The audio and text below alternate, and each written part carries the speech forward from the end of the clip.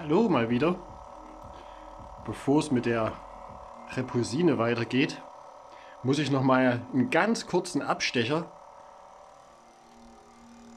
zum Bedini-Motor machen. Die Repulsine habe ich am Anfang mit 12 Volt angesteuert, mit so einer Autobatterie und habe dann mitbekommen, dass 12 Volt viel zu viel sind eigentlich. Die Wicklung, die habe ich, ich war faul gewesen beim Wickeln, habe nur ziemlich wenig Windungen drauf mit dickem Draht und ähm, momentan hängt die Repulsine an 5 Volt USB und die 33 LEDs sind ah, halbwegs, naja, sie leuchten gerade so, dass man ein bisschen was sieht, sagen wir so. Die gehen natürlich noch viel heller, aber was will man bei 5 Volt vom Beck EMF schon erwarten? Ich bin schon mal froh, dass er überhaupt die ähm, wie viel sind das jetzt? Doch 33 LEDs in Reihe überhaupt hinbekommt, dass sie so schön leuchten. Und hier bei dem Motor sind es mit 12 Volt Eingang 125 LEDs, die da hier so fröhlich vor sich hin leuchten. Hier unten die Spinnweben habe ich extra dran gelassen für euch, ne? dass ihr seht, dass der, dass der hier auch noch ein bisschen Wind generiert. Das sind jetzt jedenfalls summa summarum die ganzen LEDs, die hier so vor sich hin leuchten, 125 Stück. So, und ähm, so eine LED, die braucht ja eine bestimmte Spannung, damit sie überhaupt leuchtet. Ne? Hier habt ihr mal ein Diagramm, wie das sich normalerweise bei LEDs verhält. Und bei den LEDs, das sind jetzt weiße LEDs, die müssten so ungefähr bei 2, 2,2 Volt ungefähr sein, dass die überhaupt ein bisschen anfangen mit Leuchten. Ja, so, jetzt haben wir hier 125 LEDs in Reihe.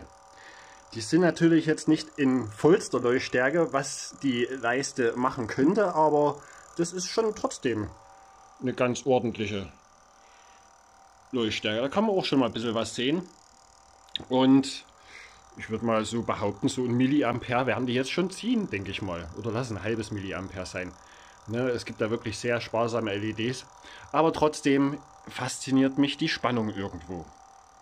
So, und mal kurz zu der Vorstellung. Stinknormaler Schulmädchen, Bedini-Motor mit Reed-Switch in der Triggerstrecke sozusagen. Den Vorwiderstand, den habe ich rausgefunden hier auf die Drehzahl. Und dann haben wir unsere Neon-Klimmlampe natürlich noch dran, die bei Überspannung, na, ne, das heißt, wenn der, der Trigger zu viel Spannung bekommt, ähm, die Spannung ableitet. Und die leuchtet normalerweise so erst ab 90 Volt fängt die an mit Leuchten. Und ich kenne es so, die meisten, meisten Bedini-Bastler wissen es ja auch, ne? wenn ihr da eine Batterie am Output dran habt, dann leuchtet diese Neon-Klimmlampe nicht. Ne? Es sei denn, ihr geht da mit einem Output über 90 Volt, ne? dann fängt ihr wieder an mit Leuchten. So, jetzt haben wir aber hier am Output mit unseren LEDs 125, also mal 2 kann man da mindestens rechnen. Das müssten theoretisch 250 Volt jetzt eigentlich sein. Normalerweise, die da hinten leuchten. Und trotzdem blinkt die Neonklimmlampe nur so ein bisschen. Die leuchtet nicht andauernd.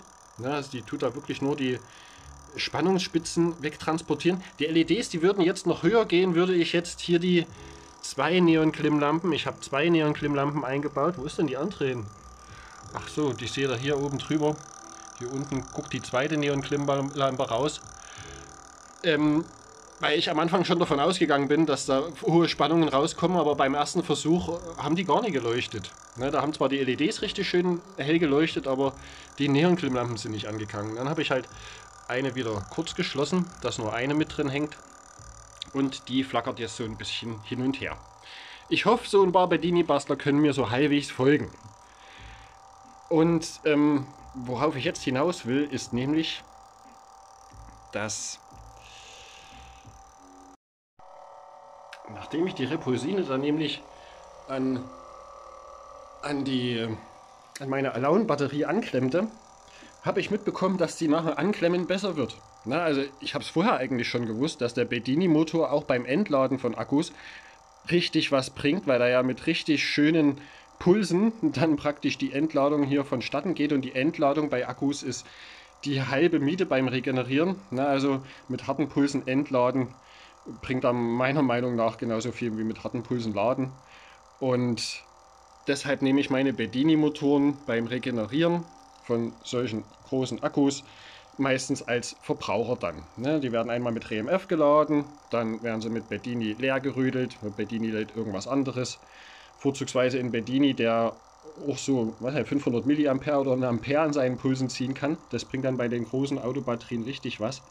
Und bei meiner Alone-Batterie hat es das jetzt bewirkt. Die war vorher immer nur so auf 11,3 Volt und ich habe sie nie über 12 Volt gekriegt, dass sie über 12 Volt hält. Und jetzt endlich, ja, der Verstärker ist es gerade dran, die ist es im Betrieb.